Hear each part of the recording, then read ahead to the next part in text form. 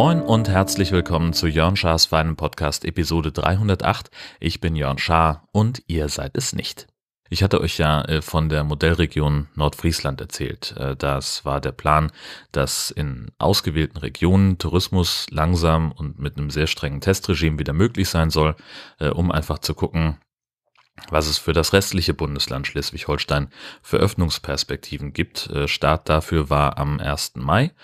Und das ist jetzt so ein bisschen der Fluch des Drei-Wochen-Rhythmus, äh, denn die ganze Geschichte hat 16 Tage gedauert und dann wurde sie wieder eingestellt. Aber dazu komme ich gleich. Das ist genau der Plan gewesen. Modellregion äh, sollte das eben zeigen. Ähm, und ja, Zwischenfazit äh, hatte ich mir für heute aufgeschrieben. Die Stadt war relativ schnell, relativ voll. Äh, in der Himmelfahrtswoche haben wir die Innenstadt so weit wie möglich gemieden, weil einfach, also einfach auf der Fahrt von der Casa Chasa zum Supermarkt war schon klar, die innenstadtnahen Parkplätze waren voll mit auswärtigen Kennzeichen aus ganz Deutschland. Wenn wir mal in die Stadt mussten, äh, überall standen Menschen im Weg, die sind, die mäßig orientiert und unhöflich waren. Also grundsätzlich wie immer in der Hochsaison, aber wir haben halt auch noch eine Pandemie und das war dann für uns der Grund, dass wir gesagt haben, alles klar, Innenstadt ist jetzt irgendwie so eine No-Go-Area. Nicht, dass da jetzt überwiegend Leute gewesen wären, die keine Maske getragen hätten oder sowas, aber es ist ja einfach das Gesetz der großen Zahlen. Wenn du mehr Menschen in deinem Umfeld hast, sei es eben in der vollen Fußgängerzone, dann hast du halt auch eine größere Chance darauf, dass du jemanden triffst, der die Maske nicht richtig trägt und der vielleicht irgendwie doch irgendwas hat. Muss ja noch nicht mal Covid sein, aber ist ja auch wurscht.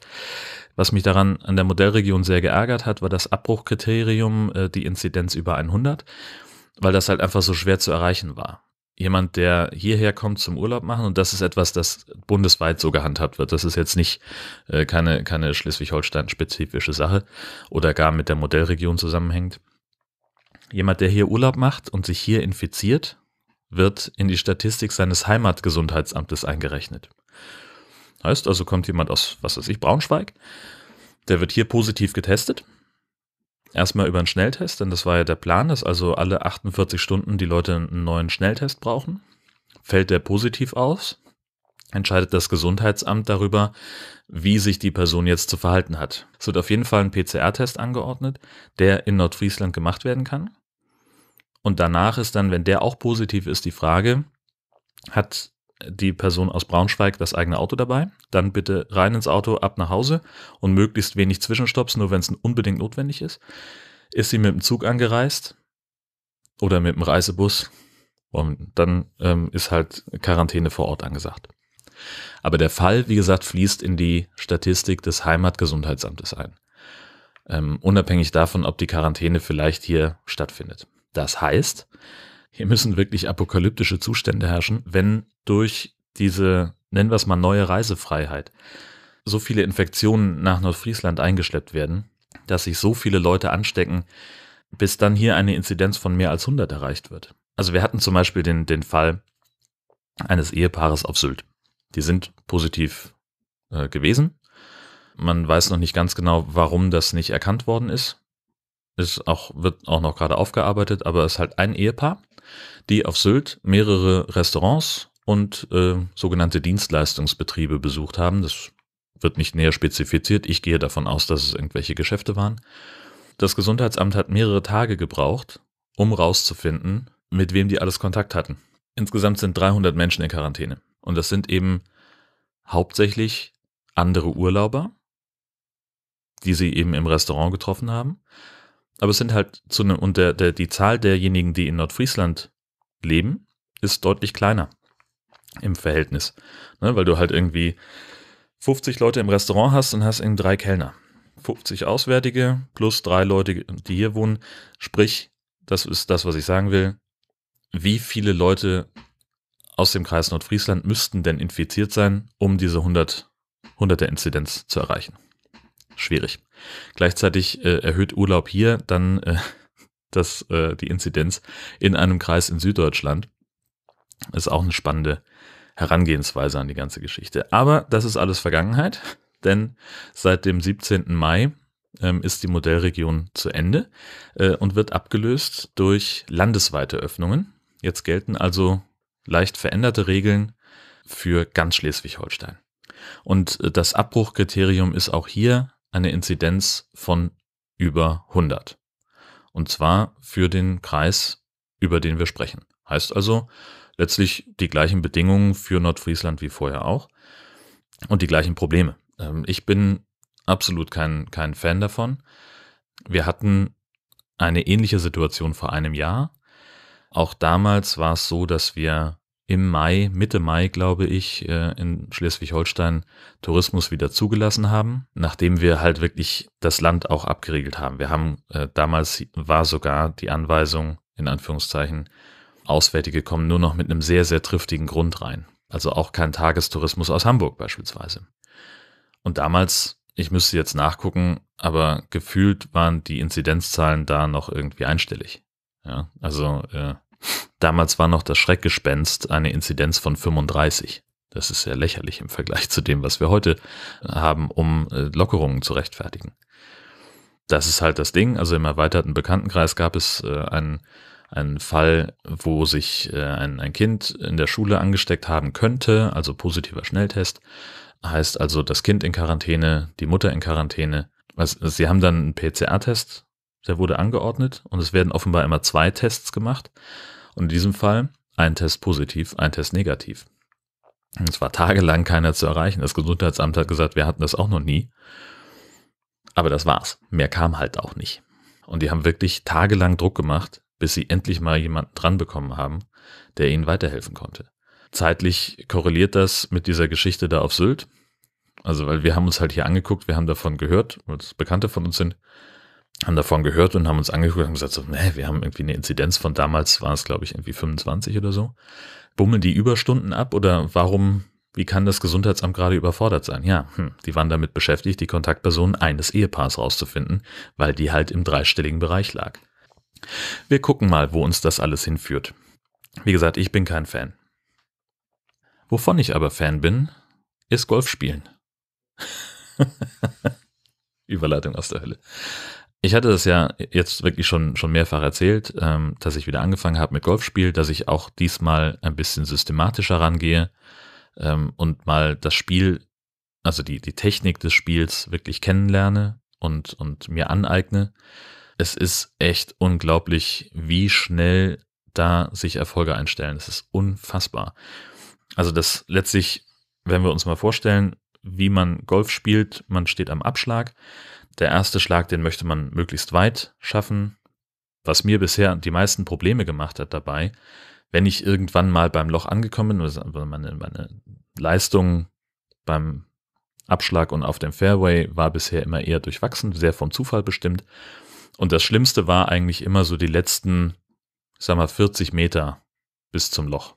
Das hat nie wirklich funktioniert.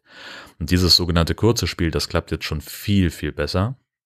Die Abschläge waren zuletzt immer noch sehr unregelmäßig. Die, die Eisen werden immer sicherer. Und mit dem Holz 5 habe ich jetzt echt gute Erfolge erzielt in der letzten Zeit. Die erste Runde war am 6. Mai. Ähm, da auch gleich direkt über 18 Loch. Das lief nicht alles rund, aber viel besser als erwartet.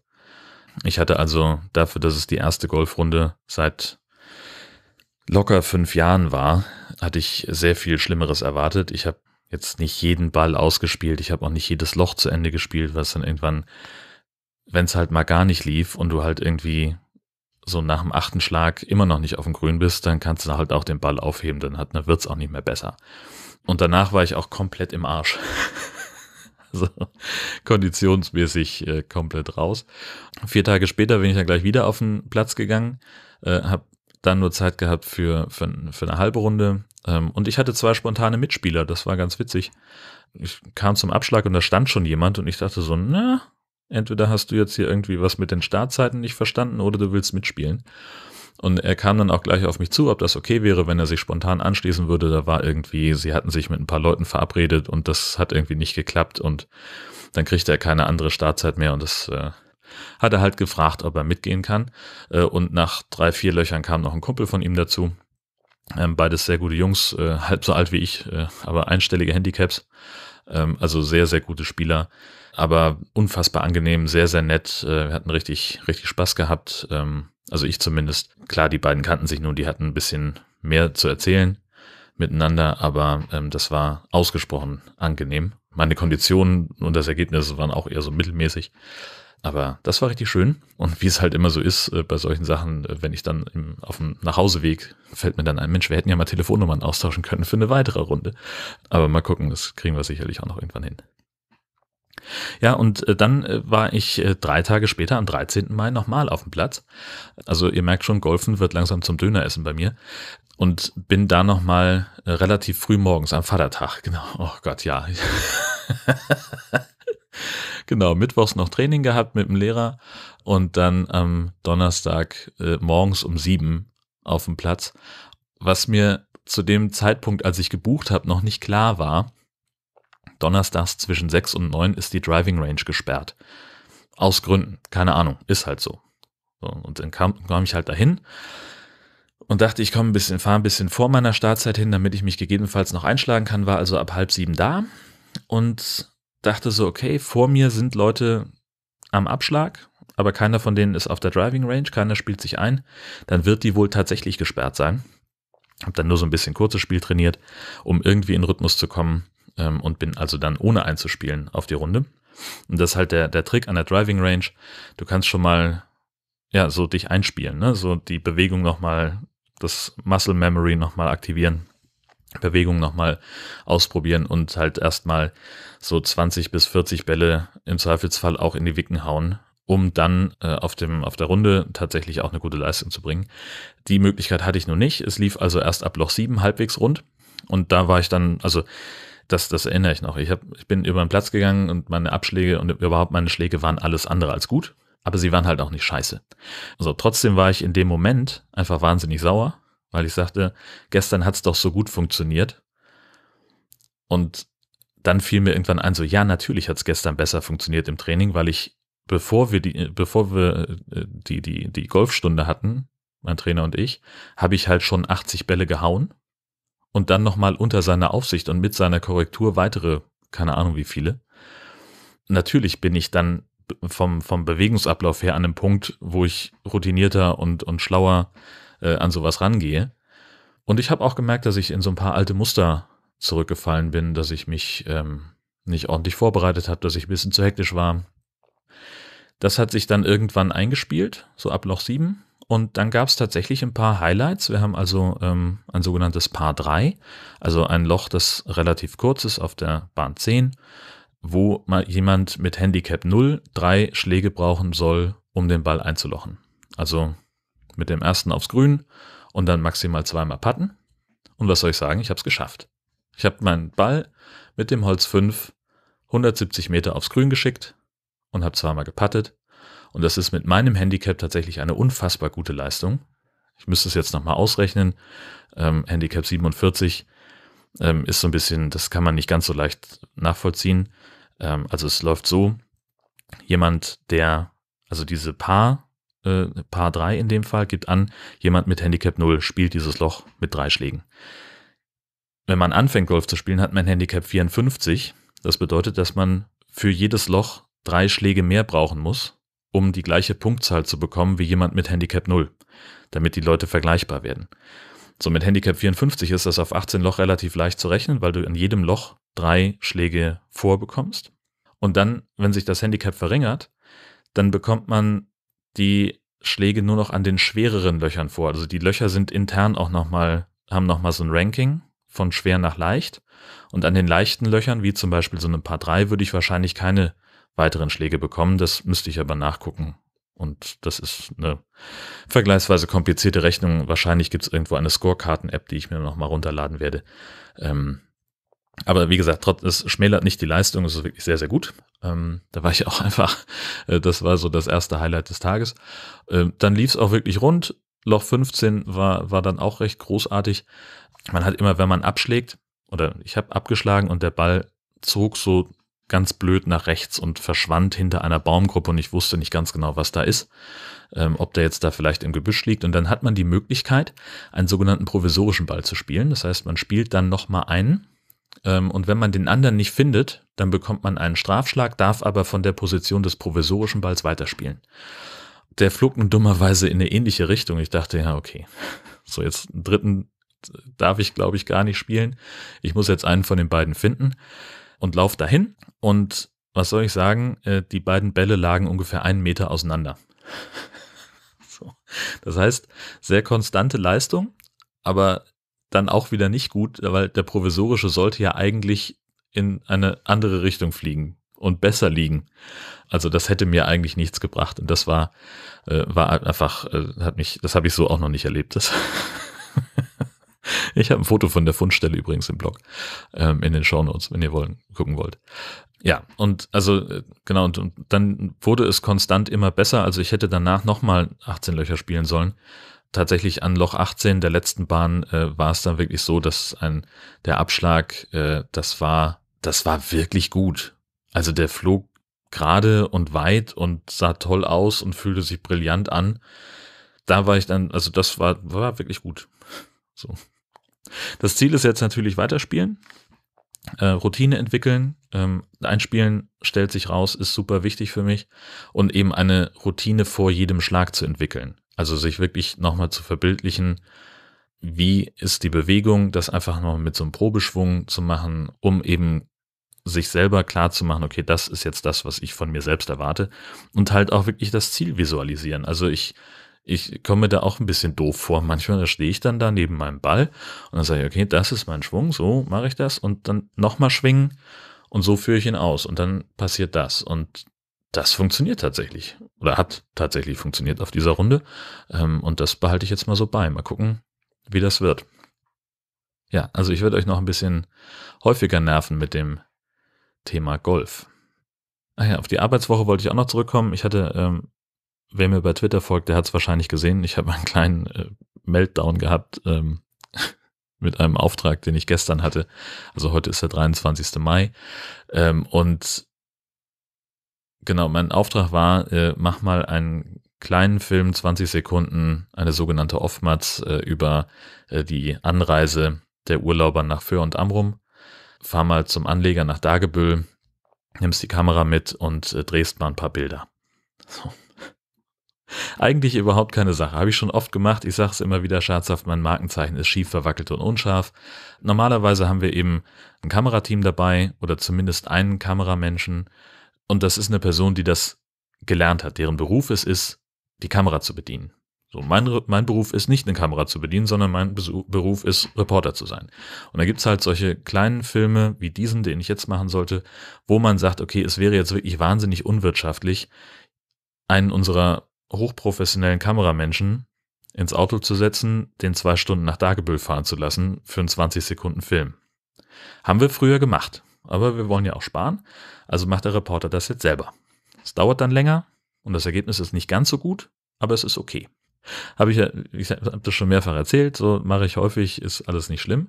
Die Herausforderung war jetzt, dass schlechtes Wetter angekündigt war. Und die Kameras, die wir haben, sind einfach unfassbar empfindlich. Also wir haben äh, tatsächlich das vor zwei Jahren, glaube ich, gehabt, dass ein Kollege von einem Einsatz zurückkam und sagte, ja, es hat ein bisschen genieselt. Äh, die Kamera hat irgendwie komisch reagiert. Die war dann kaputt. Regenhülle ist das Thema. Mein Kollege, der, hat mir, der mir die Kamera vorbeigebracht hat, damit ich da vorher nicht nach Heide fahren muss ins Studio, sagte er, hier, neue Regenhülle, die ist ganz schön eng. Er sagte, alles klar, äh, ich hatte schon mit, der, mit dem Vorgängermodell ein bisschen meine Probleme, aber dann probiere ich das jetzt mal aus und habe wirklich an dem Abend, Freitagabend, hier, ich würde mal sagen, ungefähr zwei Stunden mit dem Ding verbracht und habe versucht, diese Kamera einzupacken. Ich habe gedacht, ich spinne, ich werd, ich krieg das nicht hin. Ich bin wirklich, war wirklich sauer. Äh, und habe dann irgendwann gesagt, so, also es, wir sind, ich war an einem Punkt, wo ich gesagt habe, ich lasse das jetzt so. Dann ist mir aber klar geworden, so, hm, diese Kamera ist echt teuer. Könnt ihr mal googeln nach Sony XD Cam. Das ist, die ist wirklich sehr, sehr teuer. Dafür, dass sie so empfindlich ist, habe ich gesagt, ist es nicht so geil, sich äh, dann zu sagen, ich lasse das jetzt so und äh, sich auf einen Fähranleger zu stellen an der Nordseeküste bei Regen und Wind. Äh, denn das geht auf jeden Fall schief. Also äh, habe ich dann im Auto gesessen, Bin bewusst sehr früh hingefahren, äh, weil ich mir Zeit lassen wollte und äh, habe dann im Auto nochmal weiter versucht, dieses Ding anzupacken und wirklich, ich habe geflucht wie ein Kesselflicker, weil es einfach partout nicht gehen wollte und habe das dann auch bei Twitter so ein bisschen dokumentiert. Äh, es gab eine Menge Menschen, die, die gesagt haben, ja, dann nimm doch eine Mülltüte und Gaffertape und so. Nein, das geht nicht. Die Mülltüte raschelt. So, wir brauchen den Ton. Jan hat noch irgendwie ein YouTube-Video rausgesucht von einer, wie man an eine Kamera eine Regenhülle anbringt. Das war aber eine Regenhülle, die wir nicht haben und so weiter und so fort. Und in meiner Verzweiflung habe ich dann irgendwann morgens meinem Kollegen geschrieben, ich sage, irgendwas, also hier stimmt was nicht, ich kriege es nicht hin. Und äh, der hat es zum Glück vorher ausprobiert und die Kamera aus drei Winkeln im eingepackten Zustand fotografiert und hat mir diese Bilder geschickt. Und dann ging's. Dann waren es irgendwie zwei Minuten, fünf Minuten vielleicht, bis ich die Kamera eingepackt hatte. Und danach war ich dann auch sofort versöhnt. Also da war dann auch alle, alle Wut äh, verflogen wo ich mir die ganze Zeit gedacht habe, Mensch, warum haben wir jetzt hier nicht irgendwie jemanden, der, der weiß, was er tut? Und, und war es auch in Ordnung. So, und ich habe da meine Bilder gedreht, die waren, das war wieder mal, äh, ja, also ich finde das dann immer einigermaßen stümperhaft, was ich da mache, weil es halt einfach so scheiß lange dauert. so.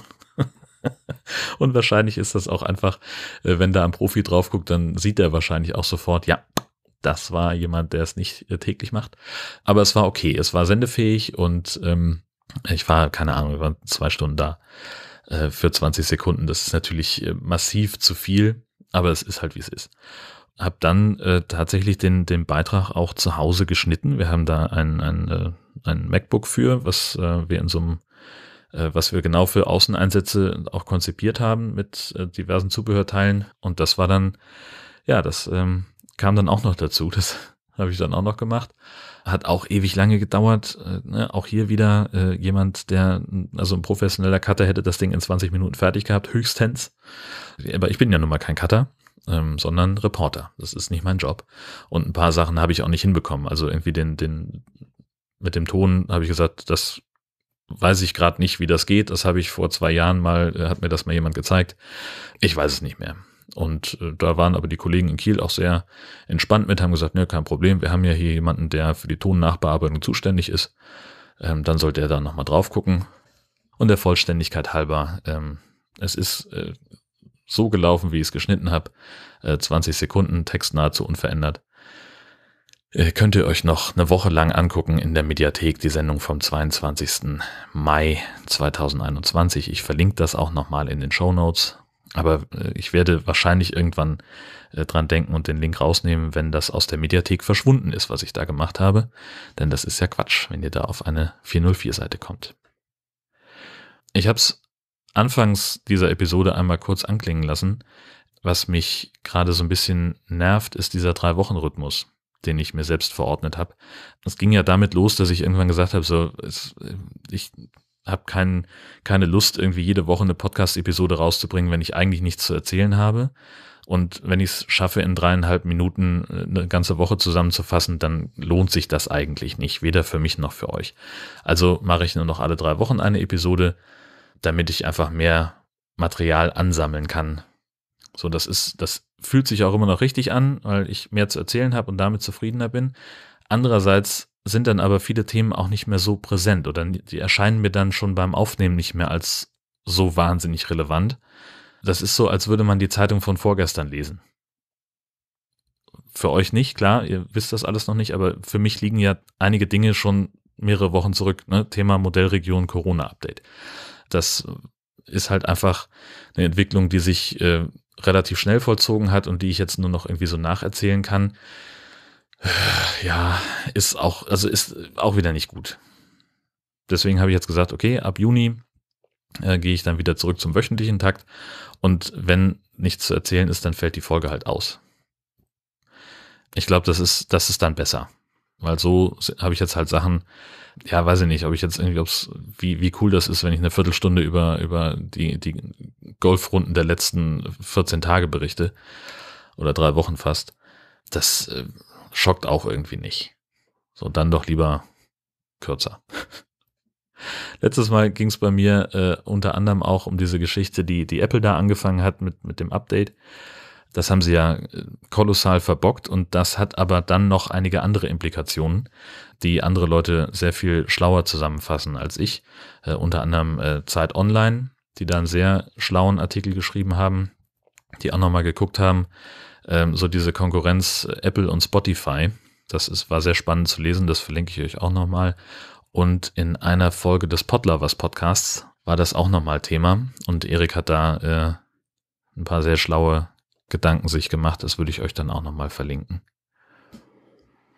Und wo wir gerade über Podcast sprechen, ich habe letztes Mal was vergessen, und zwar mein Gastauftritt im Ablegen-Podcast. Das habe ich letztes Mal nicht erwähnt, weil die Episode veröffentlicht wurde, während ich meine eigene Episode aufgenommen habe.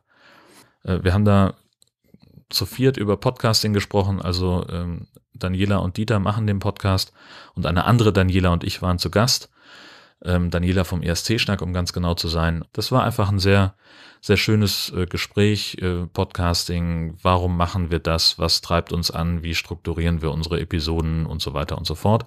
Und wie immer an die wichtigsten Sachen habe ich erst nach der Aufnahme gedacht. Äh, den Link zur Episode findet ihr in den Show Notes und wenn ihr sehr aufmerksam wart und meine Gastauftrittskuration abonniert habt bei FÜD, dann äh, habt ihr die Folge wahrscheinlich schon gehört.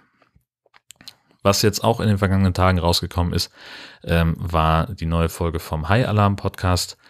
Äh, da hatte uns Peter darauf hingewiesen, dass es den Film Damn Sharks gibt. Das ist wirklich also die dämlichste Grundannahme, die äh, ein Hai-Film haben kann, finde ich. Seit House Shark mindestens. Und zwar geht es darum, Bullenhaie werden von einem Sturm in einen Fluss reingedrückt, in einen Naturschutzpark in den USA. Äh, und da kommt eine Menge äh, Kram mit, irgendwie Baumstämme und sonst was. Das verkeilt sich zu einem Damm und die Haie merken, dass sie den Damm mit Leichenteilen verstärken können, äh, um da, weiß ich auch nicht, was zu machen, irgendwie Lebendfutter zu fangen von Leuten, die sich eben auf dem auf dem Fluss herumtreiben und da ihre Freizeit verbringen. Ähm, ja, also Haie bauen einen Damm, so wie Biber, nur mit Leichenteilen. Herzlichen Glückwunsch. Also hört euch an, das war grandios. Nord-Süd-Gefälle haben wir auch natürlich eine neue Folge. Das war ja schon am 15. Ist ja schon über eine Woche her. Habt ihr bestimmt schon alle durchgehört und euch Notizen gemacht, hoffentlich. Wir fragen das nächstes Mal ab. Muss mal rausfinden. Ich habe einen neuen Bürostuhl, aber seit ein paar Tagen knarzt und knackt der, wenn ich mich drauf bewege. Das würde mich wundern. Ihr hört das vielleicht im Hintergrund so ein bisschen. Es tut mir leid für die Nebengeräusche. Abgesehen davon bin ich der Meinung, dass Horst Seehofer als Bundesinnenminister zurücktreten sollte. Bis das passiert oder bis hier eine neue Folge erscheint von Jörn Schaas für einen Podcast, wünsche ich euch eine fantastische Zeit. Tschüssi!